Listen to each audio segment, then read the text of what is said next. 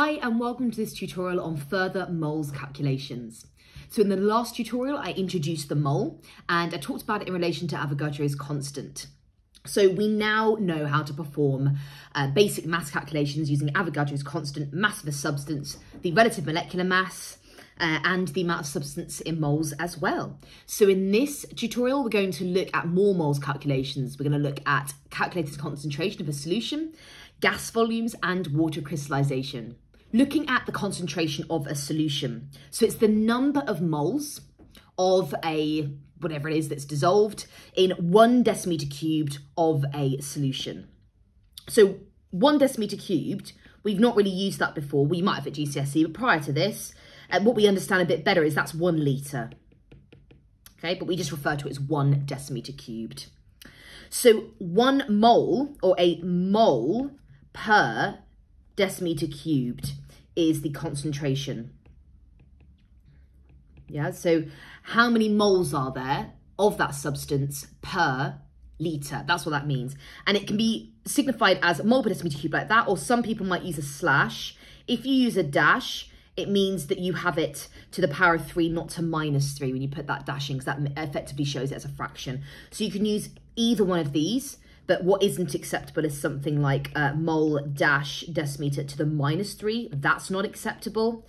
Um, or uh, just moles to decimeter cube like that to three. That's also not acceptable. So it has to be one of these two configurations when you write it out. So the number of moles per unit volume, that's what concentration means. There's of course a triangle formula for this. So the number of moles is equal to concentration times volume. Remember I used N for the number of moles before as a shortcut?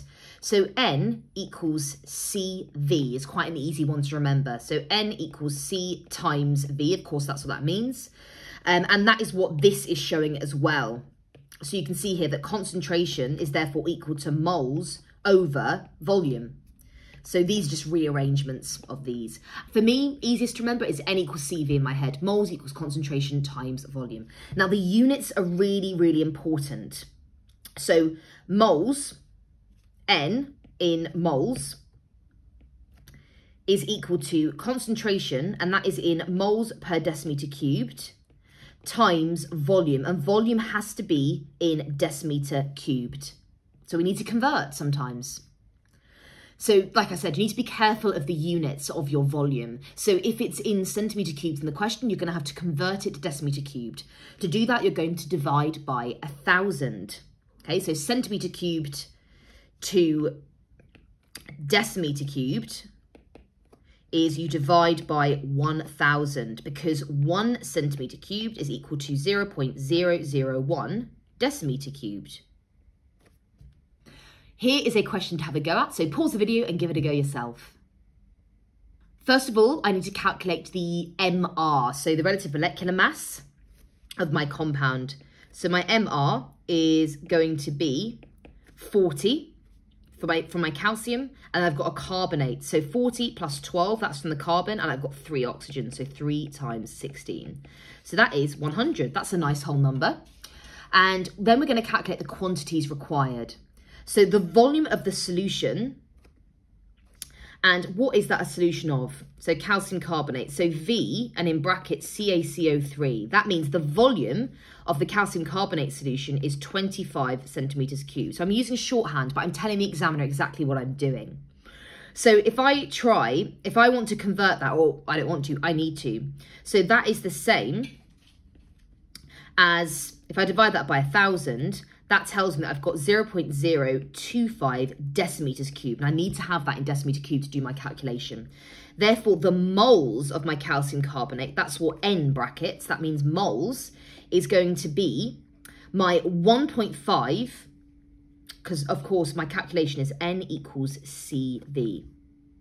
Okay, so what I need to find out is my moles, so it equals concentration, and that's 1.5 because it told me up here I've got 1.5 moles per decimeter cubed times my volume, which I've converted nicely to decimeters cubed. So 1.5 times 0 0.025, and that is 0 0.0375 moles.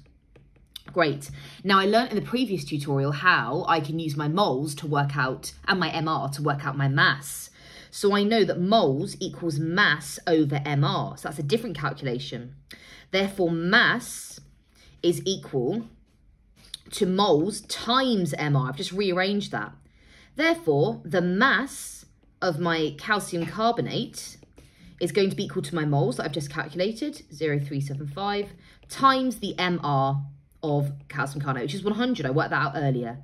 3.75 grams. And that is my answer. Considering gas volumes now, so Avogadro's law, equal volumes of gases at the same temperature and pressure contain an equal number of moles.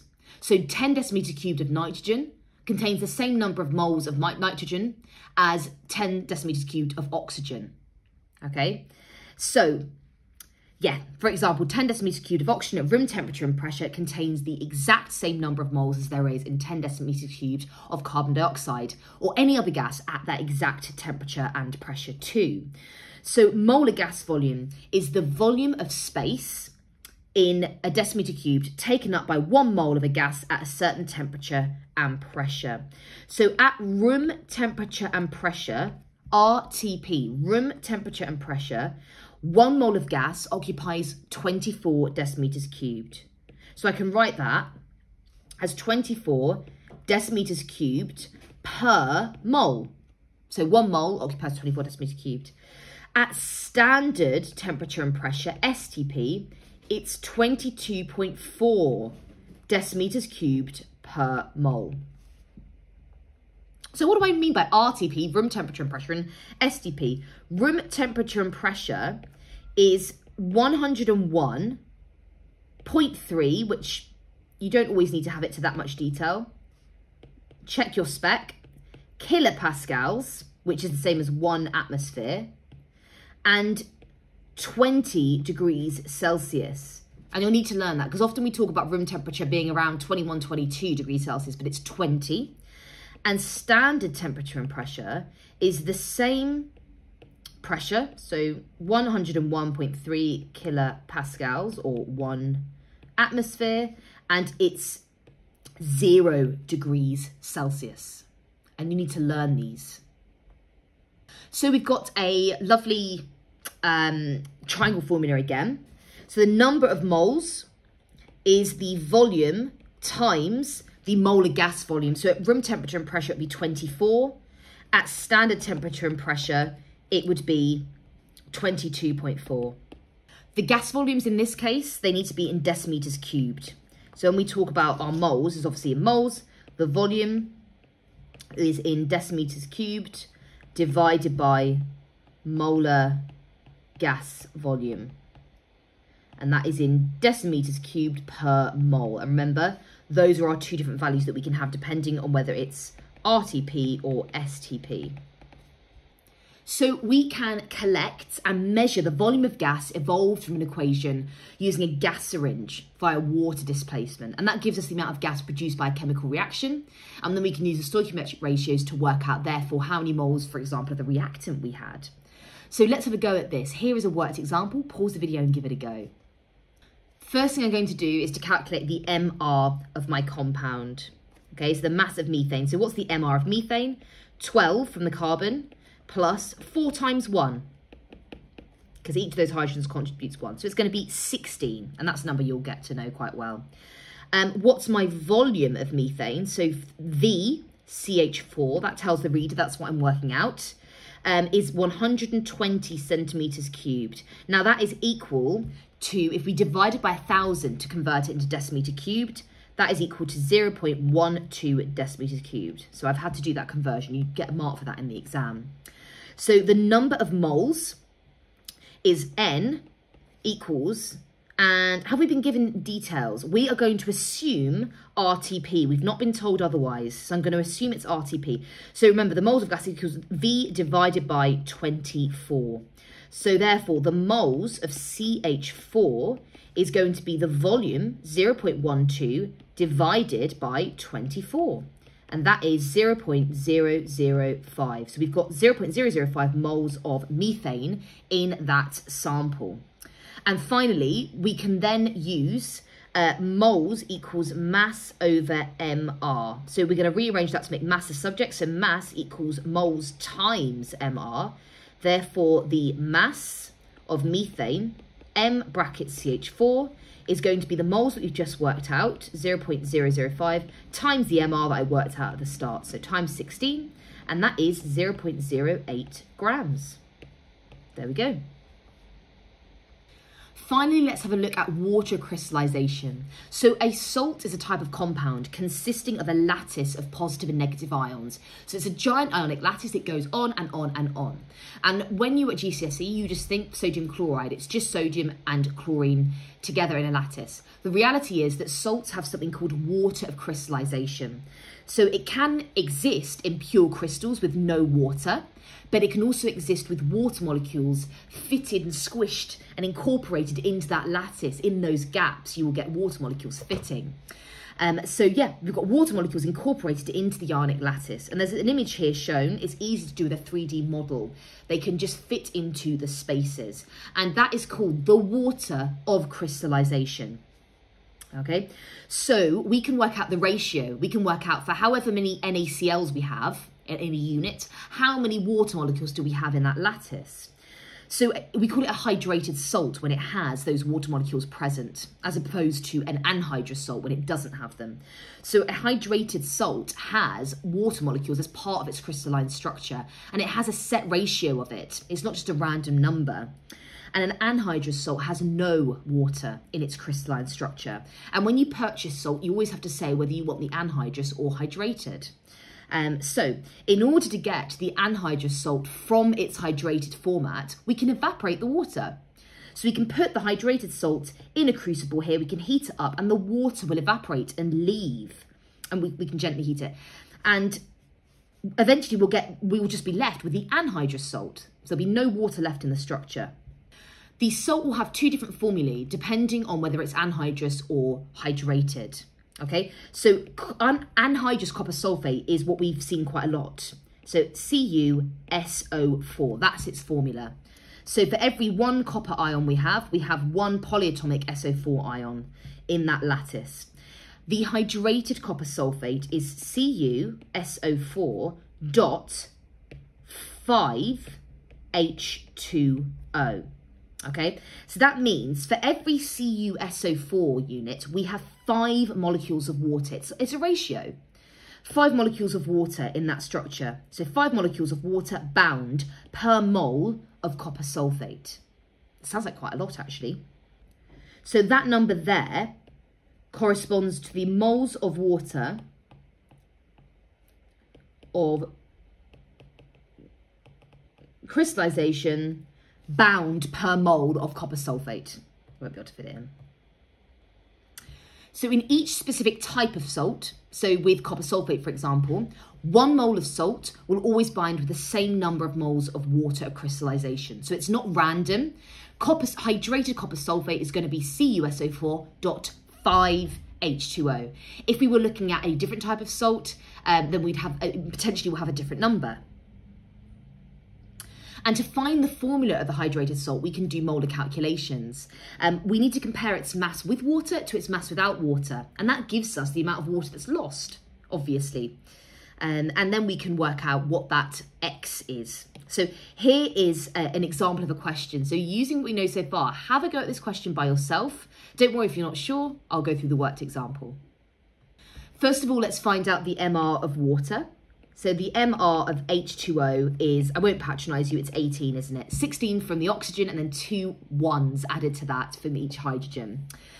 Then we're going to find out the moles of the, or the mass, the number of moles of the water lost. So we've been told that the hydrated magnesium was 3.21 grams and that when all the water had been evaporated, we were left with 1.567 grams. Okay, so this is it with water, this is it without water.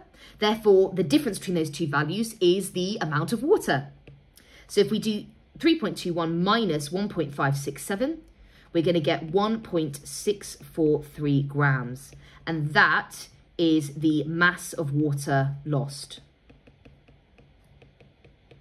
Okay, so you do um, anhydrous, the mass of the anhydrous subtracted from the hydrated.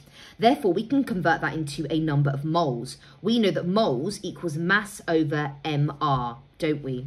So the moles of water that we must have lost, that therefore must have been contained in the original structure, has to be the mass is uh, moles equals mass, so 1.643 that we've just worked out, divided by the MR of water, 18. And that is 0.09127 moles. Okay, so we've got the moles of water that must have been in the original structure. Then I'm going to find out the MR of MgSO4, my salts. I'm going to work out how many moles, I found out how many moles of water I've got, how many moles of salt do I have? So that's going to be 24.3 for the magnesium, plus 32.1 for the sulfur, plus 4 times 16 from each of the oxygens. That's 120.1 grams per mole. That's my MR. And, there, and then I can work out the number of moles of MgSO4. Where do I get the mass? It's the anhydrous, magnesium sulfate. So moles equals mass over MR.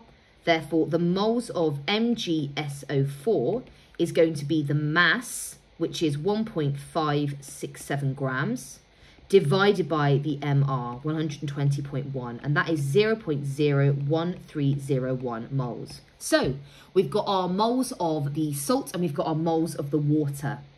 So finally, it's a ratio.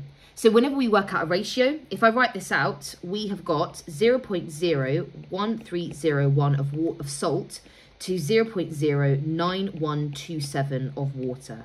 So that is salt to water. If you ever need to work out a ratio, divide by the smallest number. So which number is smaller? It is this number here. So we're going to divide both sides by 0.01301. So this number divided by itself is of course going to give us 1. 0.01301 divided by 0.01301 is 1. And 0.09127 divided by 0.01301 is 7.015. So I'll just make a note of that. We're going to divide it by itself and we're going to divide that also. So you just divide by the smallest number. That's what we've done to get those two values below. So x can only be a whole number, of course, and you should be coming out with a number that's close to a whole number. So therefore x must be 7 here. There's a bit of an experimental, a certain amount of experimental error, so it's understandable that we didn't come out with exactly 7. So my answer, x, is 7.